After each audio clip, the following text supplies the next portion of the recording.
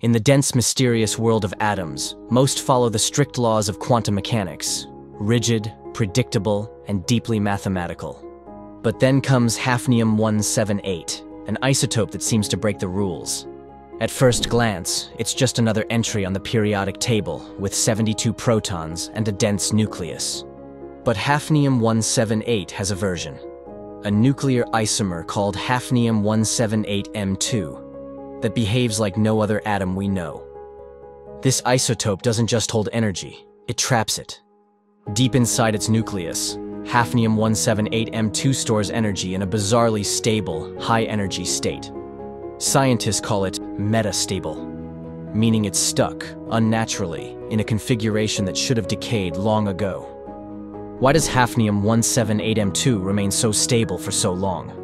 Reportedly over 30 years. What holds it in this high-energy state, defying what quantum theory says should happen? This defiance of decay makes it an outlier, a puzzle piece that doesn't quite fit in our understanding of nuclear physics. And the answer may lie deep